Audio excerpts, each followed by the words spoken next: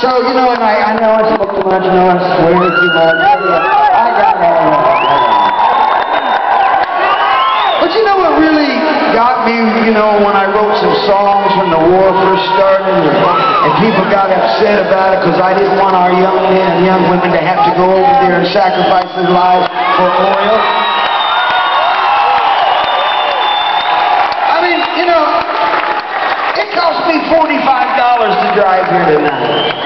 Yeah, that's a lot of money for gas, don't you think? But a long, long time ago, I wrote a song, and I know each and every one of you guys sang along with this song. I don't know what you think I was talking about when I wrote this song, but I still feel the same